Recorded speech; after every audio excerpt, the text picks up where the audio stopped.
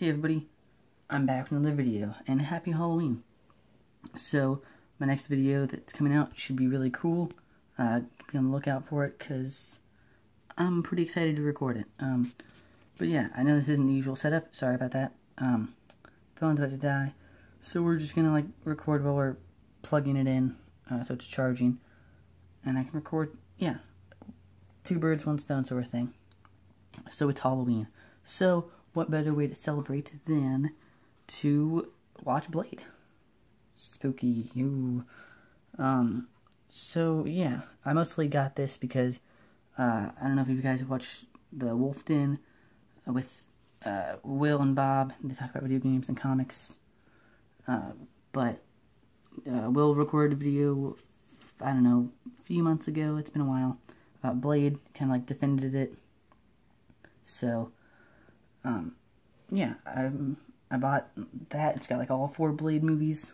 I didn't know there was a fourth one, but it's called House of Chthon. Um, but yeah, it's got all four of those.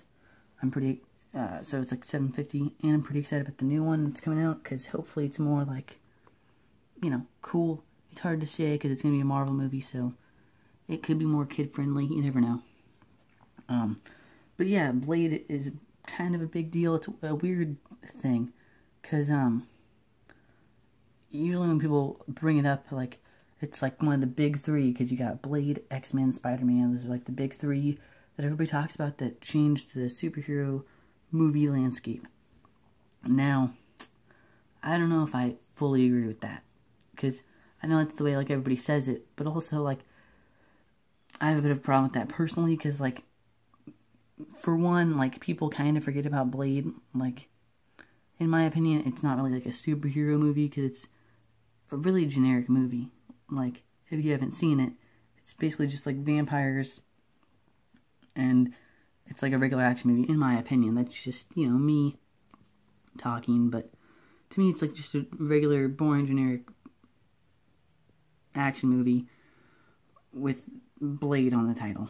Um, and from what I've heard, the original Blade comics, like back in the old days, weren't very, um, like, cool, I guess you could say. Um, I haven't really read them. I haven't read the new comics. I haven't really read any Blade comics, so I have no idea of like the history or any of the mythology of Blade.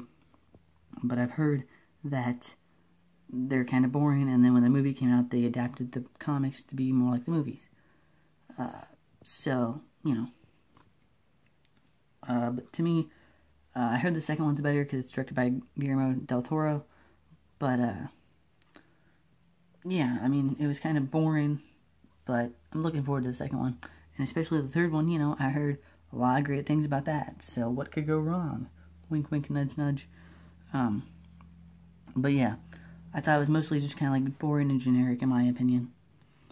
But, uh, let's, you know, go into it. Let's, let's dive into it, shall we? Let's dissect the, the movie.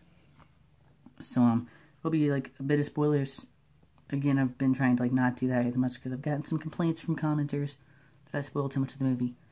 But anyway, so the basic plot is, um, you know, it goes over Blade's origin, and there's a guy, um, Deacon Frost, that wants Blade's blood to, um, basically just wipe out humans. From what I gathered, again, I got kind of bored because it is kind of generic. Uh, so what I gather is like he wants to get rid of humans and just like make everybody a. Uh, he wants Blade's blood so like vampires can walk during the day and like everybody will be like a like a half breed I guess they're called like uh, kind of like Blade because Blade, you know, he's got like all the strength of vampires and other weaknesses like garlic or the sun or whatever. So that's what Deacon Frost wants. You know, he wants to be like the top tier vampire vampire apocalypse sort of thing.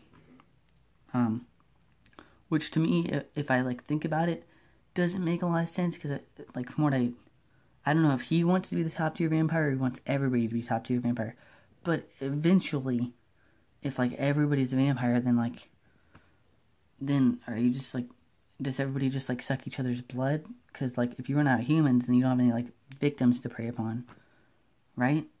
Maybe that's just me. I don't know, but it seems like eventually you're going to run out of victims. Um, so yeah, he wants Blade's blood. That's like the basic concept of it, you know, origin, You get the character started, that sort of thing. But uh, overall, it's um not horrible. Again, like there's a lot of blood.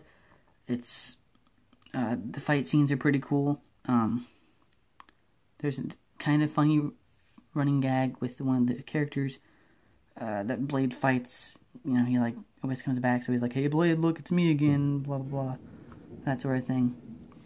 Um. Uh, and then we got you know, it's not. There's a few like weird like choppy 2000s editing techniques that are kind of outdated now. Uh, that I don't like. Where it's like fast editing, fast moving sort of stuff. Those are kind of old, but um, yeah. Overall, it's okay. There's some really bad like CGI near the end, um, but it's all right. Um, there's this really weird scene that I wasn't a fan of, like when he gets captured near the end, like that whole like subsection, I guess you could say. Um, because again, like spoilers, but um, his like you see his mom, and she like uh like is the one to like kill him, but it's really weird the way she does it, in my opinion. Um, she like rubs her her nose like on his lips.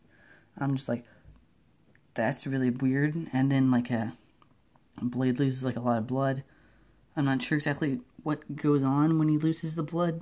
I don't know if it's like he's being crushed or something, but he's like putting like a weird tube. He loses his blood, and then he uh, bites the neck of this girl he's been hanging out with, and it's like really weird and like sexual. And I'm just like, oh, okay, that's that's kind of weird. Uh, oh, okay. Um, I guess like it's whatever, you know. But I mean, all right. It's I don't know. It's kind of weird in my opinion. Um, but yeah, overall, it's like a fine movie. Again, I don't think it's like as big a deal as some people are making out to be. Because to me, it's just like a boring action movie with the word blade in it. But that's just me. Um, I might give it like a I don't know, maybe like a C, like an average, just kind of like it's fine sort of thing. But yeah, that's just my take on it. Um, if you want to watch it again, if you can find this, I'd probably recommend it because it's like 750 so that's a pretty good deal. Uh, it's got all four movies in it. Yeah, I, would probably do that. Um, unless you want to like rent them or something. I don't know. But yeah, thanks for watching. If you have an opinion on Blade or comic books, let me know down below. Thanks for watching. I'll see you in the next comic book review.